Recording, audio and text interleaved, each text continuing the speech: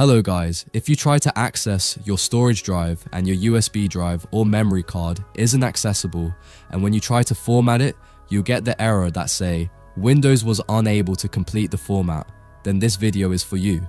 In this tutorial, I'll show you how to fix a drive that won't format using simple and effective methods. Let's get started. The first method we will use disk management to format the drive and create new partition. So for this right clicking the Windows Start button and select disk management. If your USB drive appears there and shows as raw, right click on that drive and choose delete volume. You'll see a warning message telling you that deleting the volume will erase all data on the drive. Click yes and the partition will be deleted. Once it's deleted, you'll see the space marked as unallocated. Now right click on it again, select new simple volume and just follow the on-screen steps by clicking next until the process completes. This will create a fresh partition for your drive.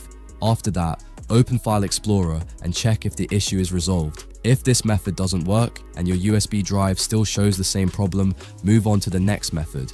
For that, we'll use the diskpart utility, so go ahead and open command prompt as an administrator. Once the command prompt window opens, type diskpart and press enter. You'll now be inside the diskpart command line. The first thing we need to do is view all the connected drives, so type list disk and press enter. This will show you every disk connected to your computer. In my case, disk 0 is my main Windows drive where the operating system and programs are installed. I only have one other drive connected, which is my USB drive. If you have multiple hard drives connected, be extra careful here and make sure you select only the USB drive. Usually, it appears as the last disk in the list, and you can also confirm it by checking the storage size. Once you've identified your USB drive, select it by typing select disk, then the disk number, and then press enter. After that, we'll clean the drive. Just type clean and press enter. This will remove everything from the USB drive.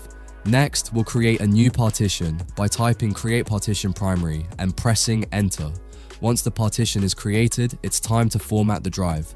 Type format quickfs equals ntfs and press enter. This will start formatting the USB drive. When the format is complete, go back to File Explorer and you should see that the USB drive is now working properly. Diskpart is a very powerful tool and can fix many USB or memory card related issues. If this tutorial helped you solve the problem, don't forget to like the video and subscribe to the channel. I'll see you in the next video.